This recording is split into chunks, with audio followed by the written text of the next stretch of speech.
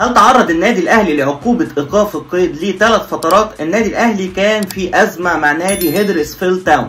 أحد أندية الدوري الإنجليزي عام 2019 2020 اتنقل رمضان صبحي في هذا التوقيت من هدرسفيلد تاون للنادي الأهلي وكان في بند بيتيح ليه هدرسفيلد تاون. الحصول على مبلغ 150 ألف جنيه استرليني في حالة حصول النادي الأهلي على بطولة الدوري. النادي الأهلي بالفعل حصل على بطولة الدوري لكن النادي الأهلي بيقول إن رمضان صبحي رحل في نهاية تعاقده في شهر 6 والبطولة امتدت لبعد كده بكتير. وبالتالي لم يكن من حق هدرسفيلد تاون الحصول على هذا المبلغ. لكن للأسف من ساعات قليلة الفيفا حكم حكم نهائي بأحقية هدرسفيلد تاون في الحصول على مبلغ 350 ألف جنيه استرليني وإلا يتم إيقاف القيد عن النادي الأهلي لثلاث فترات. عندنا مصدرين دلوقتي لرد فعل النادي الأهلي. مصدر يلا كورة. بيقول إن النادي الأهلي هيحسم هذا الموضوع بعد نهاية دوري أبطال أفريقيا علشان تكون الأمور يعني هديت واستقرت داخل النادي الأهلي. وبيقول إن النادي الأهلي متأكد مليون في المية إنه مظلوم في هذه القضية لكن بالتأكيد هيتم حل هذا الموضوع علشان ما يتمش إيقاف النادي الأهلي عن القيد موقع في الجول الموقع الرائد في الأخبار الرياضية بيؤكد إن النادي الأهلي حسم بالفعل هذا الموضوع وسدد ليه هدرسفيلد تاون مبلغ 350 ألف جنيه استرليني يعني ما يقرب من 15 مليون جنيه مصري ليحسم هذه القضية تماما. كابتن أحمد شوبير من دقائق قليلة أكد على الخبر بتاع موقع في الجول وأكد على أن النادي الأهلي حسم بالفعل هذا الموضوع وأرسل بالكامل المبلغ لصالح نادي هيدرسفيلد تاون وبالتالي مفيش أي إيقاف للقيد للنادي الأهلي الفترة القادمة. طبعا أزمة إيقاف القيد عن الأندية المصرية بقت زي إدمان.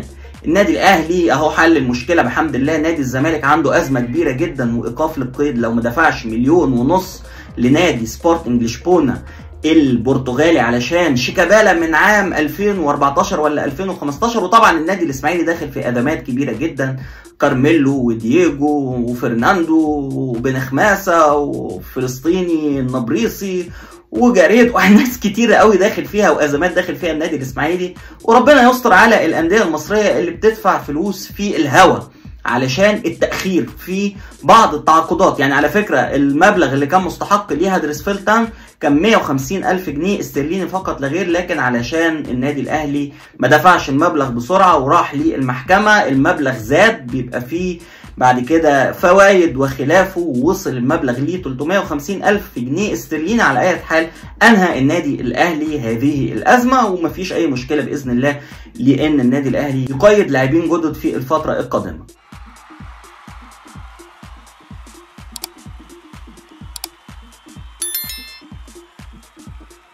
عبر صفحة النادي الإسماعيلي الرسمية بيان من مجلس إدارة النادي الإسماعيلي. الإسماعيلي يجمد مستحقات اللاعبين ويتخذ قرارات رادعة اتخذ مجلس إدارة النادي الإسماعيلي برئاسة اللواء أبو بكر الحديدي مجموعة من القرارات بالتنسيق مع الجهاز الفني للفريق الأول بقيادة الكابتن حمزة الجمل وجاء ذلك في الاجتماع الذي انتهى منذ لحظات. وجاءت القرارات على النحو التالي. خدوا بالكم من أول قرار لأنه بالنسبة لي غريب شوية. واحد الموافقة على طلب المدير الفني بتعيين مديرا للكرة. رغم إن كابتن حمزة الجمل أول ما جه قال أنا مش محتاج مدير للكرة لما كان بيرد على الأسئلة اللي بتوجه له حول إمكانية تعيين الكابتن حسني عبد ربه في منصب مدير للكرة. كان بيقول أنا مش محتاج مدير للكرة أنا أقدر أقوم بهذه المسؤولية. هل ده معناه إن ممكن نشوف عودة للكابتن حسني عبد ربه؟ رغم إن الكابتن حسني عبد ربه دخل في مشاحنات أو هجوم ضد الأداء بتاع الجهاز الفني؟ الله أعلم ما أعتقدش. اثنين إيقاف المستحقات المالية للاعبين لأجل غير مسمى. ثلاثة تفويض المدير الفني باستبعاد العناصر الغير مفيدة وتصعيد عدد من الناشئين بدلا منهم بداية من أول مران للفريق. على فكرة الفريق واخد أجازة أو راحة ثلاث أيام وهيرجع من جديد للتدريبات استعدادا لمواجهة أسوان في الدوري المصري يوم 29 نهاية هذا الشهر. أربعة تعهد المدير الفني وجهازه بتحسن النتائج في المباريات المقبلة بما يليق باسم وتاريخ النادي الإسماعيلي قولوا يا رب.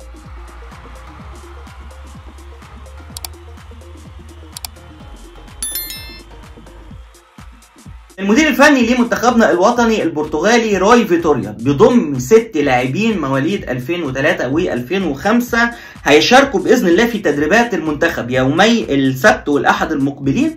بعد كده هيعودوا من جديد لأنديتهم وذلك لمواجهة النقص العددي في صفوف المنتخب قبل السفر إلى المغرب لمواجهة غينيا يوم الأربعاء المقبل في التصفيات المؤهلة لأمم أفريقيا 2023 بكوت ديفوار. اللاعبين الستة مين؟ مصطفى مخلوف ده حارس مرمى الخامس تقريبا في قائمة النادي الأهلي. خالد عوض لاعب طلائع الجيش ثنائي انبي المهاجم أحمد نادر حواش والظهير الأيسر حديث الجميع دلوقتي. محمد حمدي في أنباء بتقول إن وقع للأهلي أو للزمالك لاعب مميز جدا. وإياد عسقلاني مدافع النادي الإسماعيلي على فكرة إياد عسقلاني مواليد 2005 لاعب منتخب الشباب والمنتخب الأولمبي انضم لليومين التدريب دول مع المنتخب المصري عشان النقص العددي ويحتكوا بيه أيضا اللاعبين الكبار. وأخيرا عمر فايد لاعب المقاولين العرب المساك المميز للمقاولين العرب اللي هو يقال عليه شبيه أحمد حجازي. وبذكر النجم أحمد حجازي ألف سلام على نجم الدفاع المصري نجم المنتخب المصري قائد نادي اتحاد جده السعودي النجم أحمد حجازي اللي عمل عملية الرباط الصليبي في إنجلترا بعد إصابته بيها في المباراة اللي توج فيها نادي الاتحاد ببطل الدوري السعودي بعد غياب 14 عام.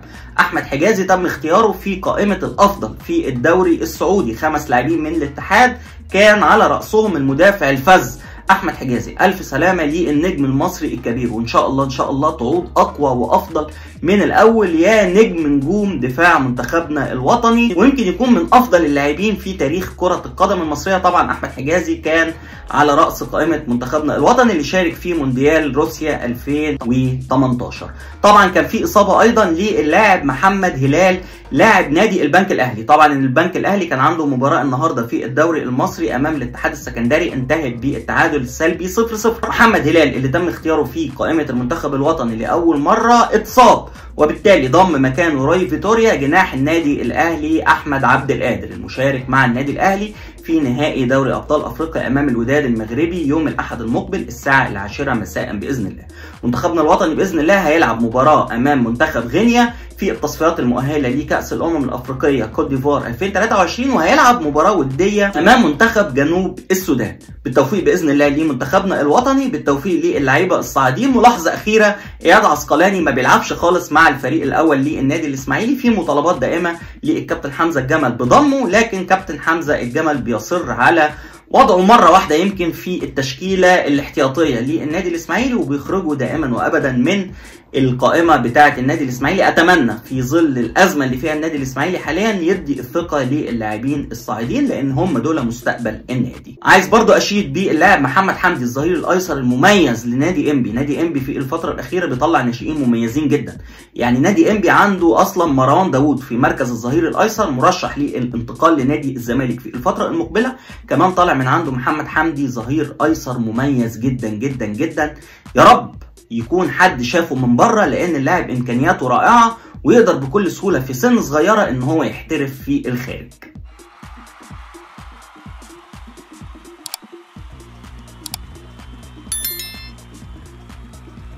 لو أول مرة تشوفني ادعمنا. اشترك في القناة فعل الجرس اعمل لايك للفيديو. أنديتنا الجماهيرية اولا وفوق الجميع أشوفكم على خير. شكرا ليكم والسلام عليكم.